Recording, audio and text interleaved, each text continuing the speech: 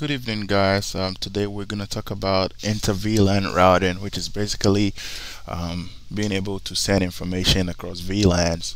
Um, as we all know VLANs are just uh, uh, logical uh, segmentation of, of switch interfaces to where they act as they were separate switches. There's two ways to to basically do in a VLAN route in VLAN routing. Um, one is to use a layer three switch, and the other way is to use a router on a stick configuration. Um, a router on a stick configuration uh, is used when you do not have a switch that is capable of routing layer 3 traffic, uh, basically layer 2 switch. So uh, in that situation you would need a, a, router on a stick configuration to to handle the VLAN routing for that switch. So the configuration I have here is pretty simple. I have a, a switch over here that has three VLANs on it, VLAN 10, VLAN 20, and VLAN 30. And uh, these three hosts over here are connected each one of them is connected to one of these VLANs so this PC is on VLAN 10, this PC is on VLAN 20, and this PC is on VLAN 30. So these three PCs cannot communicate with each other at all even though they are on the same switch because they are on separate VLANs. That is why if we do have the reason for these computers or these hosts to communicate amongst each other we're gonna have to route the traffic between VLANs and that is what we are here to do today so without much ado I am gonna go ahead and configure the VLANs on on the switches so um, I'm gonna go ahead and put VLAN 10 VLAN 20 and VLAN 30 on the switches uh, on on the switch over here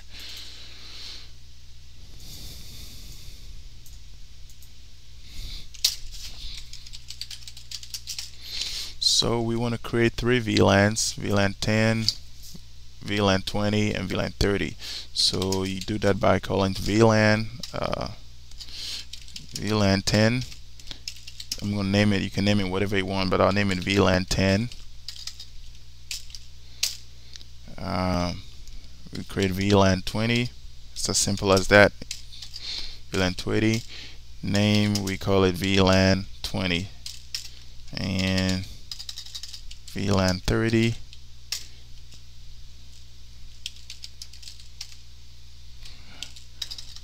VLAN 30 name VLAN 30 Oop, 30 so now I can do show VLAN and I can see that uh, this of course uh, the management VLAN was already there. I have created these three VLANs VLAN 10 VLAN 20 and VLAN 30 and um, as of now there are no interfaces assigned to those VLANs.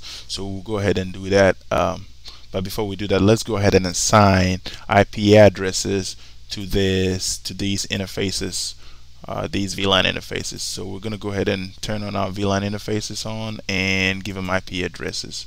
So the way you do that is um, interface VLAN 10 I'm going to give it a 10.1.1 interface VLAN 20 I'm going to give it a 20.1.1 and then 30 we're going to be 30.1.1.1 so let's go ahead and do that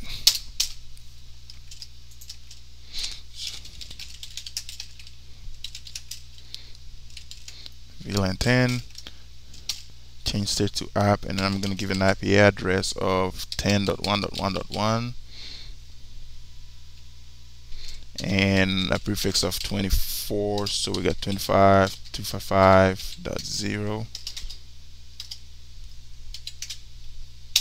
okay once we have that done we'll give an IP address to VLAN 32 so um, I mean VLAN 32 so conf t into VLAN 30 we'll give it an IP address of 30.1.1.1 255.255.255.0 and I think the last one we have is uh, into uh, I'm sorry conf t into VLAN 20 20 so IP address is going to be 20.1.1.1 with a uh, subnet mask 255.255.255.0 okay. So now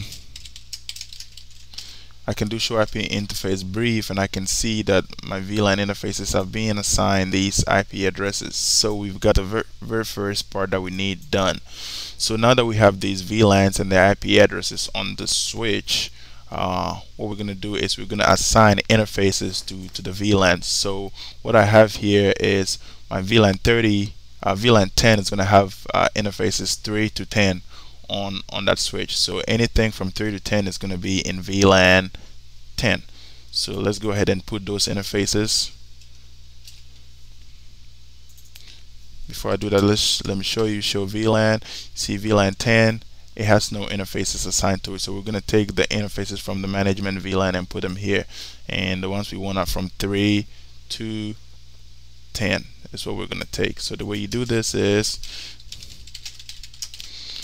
and of course you you can go to each interface and and assign it to that VLAN or you can use a very key command called the range command. So instead of doing just one interface I can do a bunch of interfaces at once. And the way you do that is by calling interface range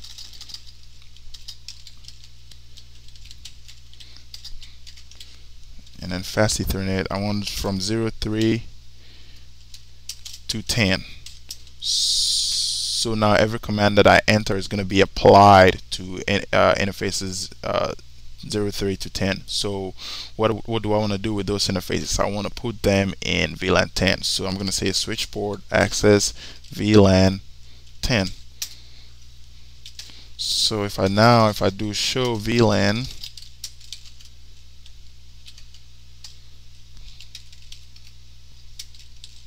forgive me. Can type. Show VLAN.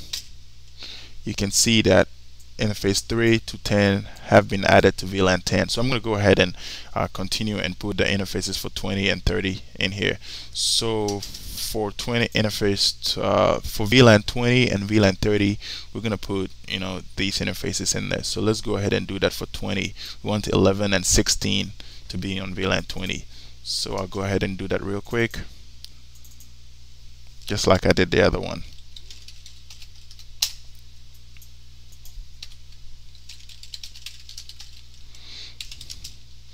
So again we're calling first range fast ethernet 0 7 uh, can't remember what I said uh, it's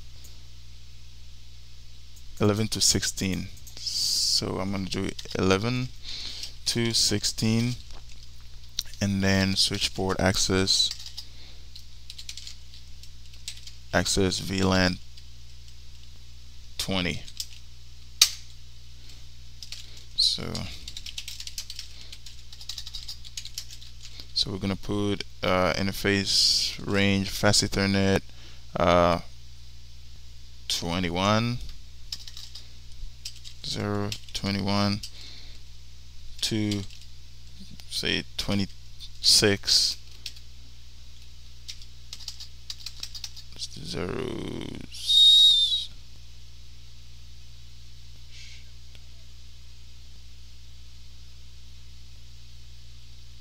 uh, interface 0 17 to 20 and we're gonna put it in VLAN 30 so switch port access VLAN 30 so let's show our VLANs and we can see that the interfaces that we want have been added to those VLANs so that is one step done. Um, I am going to continue the rest in another video so watch the second video for the continuation of this